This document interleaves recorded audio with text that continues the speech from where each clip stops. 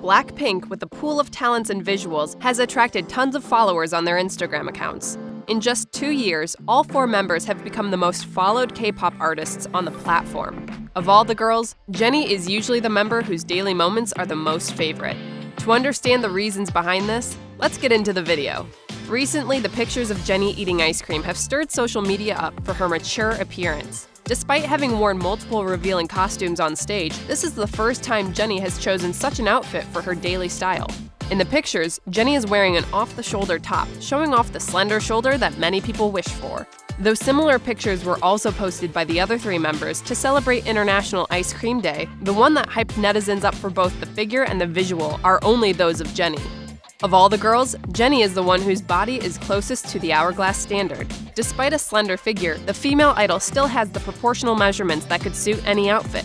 Recently, Jennie has usually excited the social media for her beautiful bare face, from airports to outings and even stages. Her bare face was so stunning that even Lisa had to compliment her, addressing that her face without makeup still looks as gorgeous as with makeup. Many people even prefer her bare face since they believe she looks younger and cuter with the natural look. Lately, the female idol was also praised for appearing on the encore stage with a bare face, which is quite a rare thing to see in the K-pop industry. So, do you prefer Jennie with or without makeup?